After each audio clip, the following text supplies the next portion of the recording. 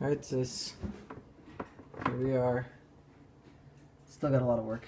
Those aren't really torches yet, and Woohoo! but it's painted. You can see all that stuff. Now I put this on, hit play. Equip. serpents and then if you look through here, of a rat, call in the spirits Oh, you can't wherever they're at. but you get the idea. Pretty cool. Rap on a table. It's time to respond.